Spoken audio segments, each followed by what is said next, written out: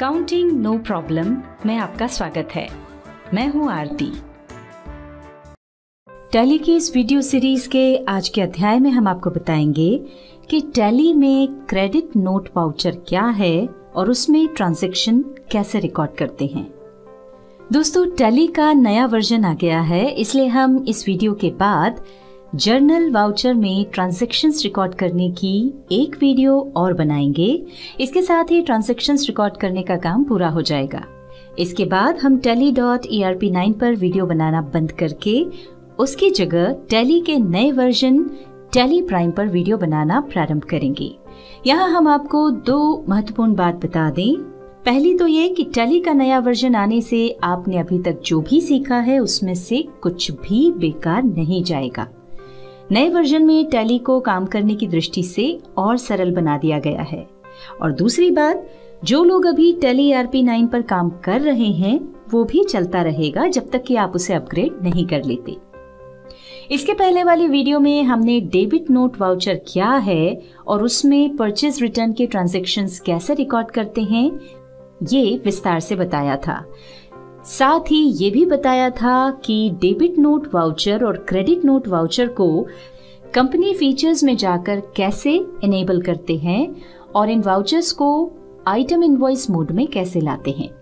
इसलिए यदि आप इस वीडियो को अच्छे से समझना चाहते हैं तो इससे पहले वाली डेबिट नोट वाउचर की वीडियो ज़रूर देखें। आगे बढ़ने से पहले हम एक बार फिर से क्रेडिट नोट वाउचर के बारे में समझ लेते हैं। जब किसी भी कारण से कस्टमर सप्लायर द्वारा बेचा गया माल पूरा या आंशिक रूप से वापस कर देता है तो सप्लायर के लिए ये सेल्स रिटर्न कहलाती है और इसके ट्रांजैक्शन को रिकॉर्ड करने के लिए सप्लायर द्वारा क्रेडिट नोट वाउचर का उपयोग किया जाता है। इस तरह के ट्रांजैक्शन को रिकॉर्ड करते समय सेल्स में से कम किया जाता है। इसी तरह यदि सप्लायर द्वारा बेचे गए माल में कस्टमर कोई शिकायत करता है और सप्लायर उन कारणों से सहमत होकर भरपाई के रूप में कस्टमर को कुछ छूट देता है तो इस तरह की छूट को भी सप्लायर द्वारा क्रेडिट नोट वाउचर में रिकॉर्ड किया जाता है। क्रेडिट नोट वाउचर के इस उपयोग को हम आगे जीएसटी के साथ समझेंगे। आइए अब सेल्स रिटर्न का एक ट्रांजेक्शन देख लेते हैं।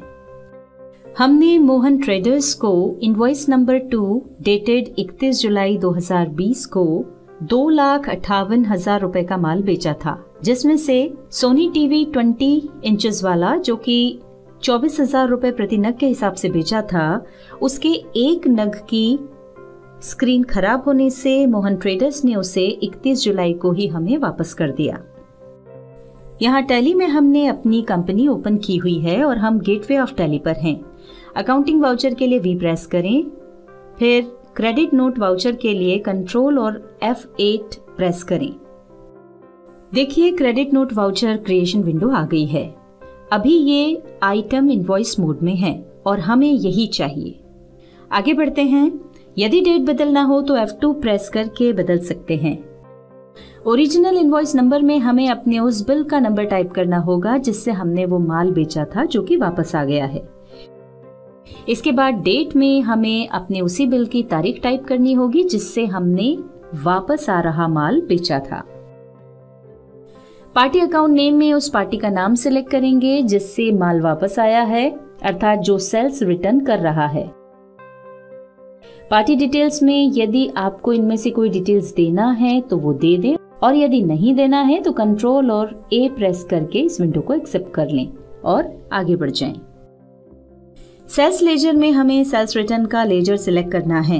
यदि ये लेजर बना हुआ नहीं है तो सेल्स अकाउंट्स ग्रुप के अंतर्गत बना लें।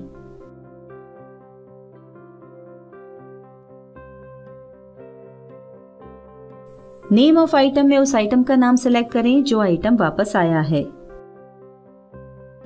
यहाँ वापस आई हुई क्वांटिटी टाइप करें और यहाँ पर जिस रेट में माल बेचा था, वो रेट टाइप करें।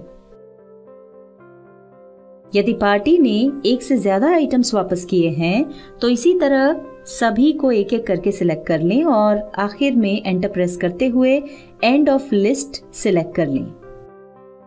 इसके बाद नरेशन में माल वापस आने का कारण टाइप करें और एंटर प्रेस करते हुए वाउचर को एक्सेप्ट कर लें।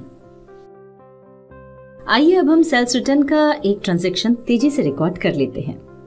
हमने इसके ट्रेडर्स को इनवॉइस नंबर वन डेटेड एक जुलाई 2020 से रुपए एक लाख बीस हज़ार का जो माल बेचा था। उसमें से सोनी टीवी थर्टी इंचेस वाला, जो कि पैंतीस हज़ार रुपए प्रति नग के हिसाब से भेजा था, उसके एक नग की बॉडी क्रैक होने से एस के ट्रेडर्स ने उसे 31 जुलाई को हमें वापस कर दिया। और हमने उसे इस सेल्स रिटर्न के लिए स्टेट बैंक ऑफ़ इंडिया का पैंतीस हज़ार रूपए का चेक इसी तारीख, यानी 31 जुलाई नंबर 12545 दे दिया। Credit note voucher creation window item invoice mode में पहले से ही ओपन है। जिस डेट में ट्रांजेक्शन हुआ है, वही डेट यहाँ पर आ रही है। ओरिजिनल इनवॉइस नंबर में हमें वो बिल नंबर डालना है जिससे हमने बाल बेचा था।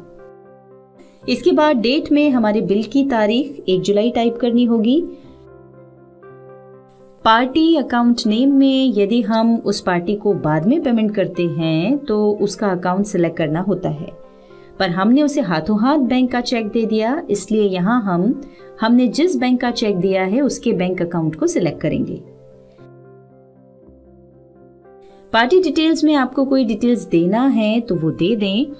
पर बायर्स डिटेल्स ज़रूर देना चाहिए, जिससे भविष्य में भी हम ये आसानी से याद कर सकें कि ये माल किससे वापस आया था।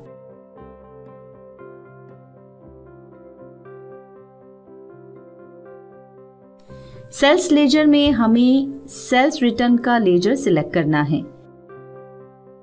नेम ऑफ़ आइटम में उस आइटम का नाम सिलेक्ट करें जो वापस आया है। यहाँ पर क्वांटिटी टाइप करें।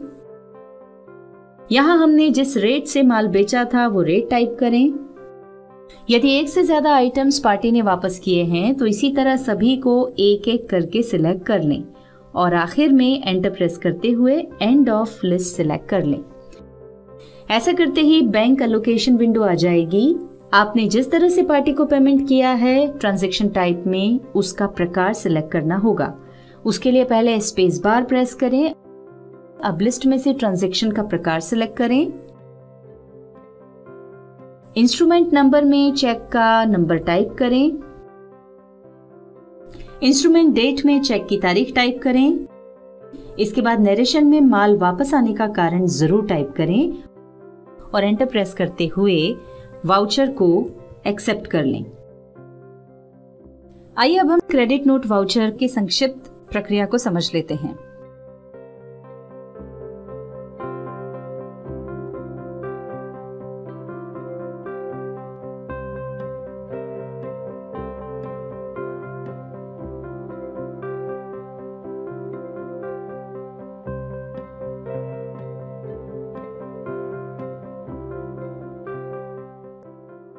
हर वीडियो में हम कुछ नई बातें विस्तार से बताते हैं और बाद में उनका शॉर्ट में उपयोग करते हैं।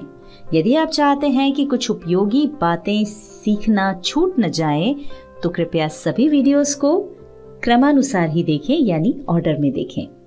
इस वीडियो में हमने क्रेडिट नोट वाउचर में सेल्स रिटर्न के ट्रांजैक्शंस कैसे रिकॉर्ड करते हैं, ये बताया। इसके बाद वाली वीडियो में हम ये बताएँगे कि जर्नल वाउचर क्या है और उसमें ट्रांजेक्शन कैसे रिकॉर्ड करते हैं।